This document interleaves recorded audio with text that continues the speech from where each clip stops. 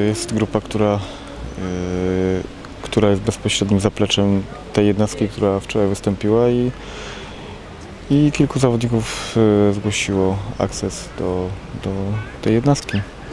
No, najważniejsze, że zagrałem i cieszę się, bo trenowałem dwa tygodnie ciężko i teraz zagrałem mecz i z tego jestem zadowolony. No, czułem się coraz e, lepiej, a sam będzie ciężko trenować, żeby, żeby być do dyspozycji trenera. Mig- Migdał jest z nami od e, kilkunastu dni.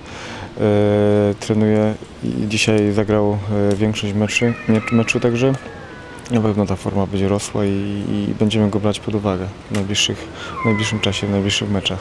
Jak się czujesz w ruchu? Aklimatyzacja już, już się zakończyła, że tak powiem? No, no wszystko w porządku, bardzo dobra drużyna, trenujemy, wszystko jest dobrze. Oglądałeś wczorajsze spotkanie pewnie z trybun, tak? Jakie masz refleksje na temat e, meczu, na temat przeciwnika, z którym gracie w Lidze Europy? No, myślę, że wygrana była zasłużona i, i, i e, na pewno ruch był lepsza drużyna w tym meczu i zasłużona wygrali. Mm, Na razie koncentrujemy się na meczu rewanżowym, żeby potem typować, e, czy cieszyć się, albo, albo myśleć, że jest to dobry e, przeciwnik albo zły, to najpierw musimy przejść e, Macedończyków.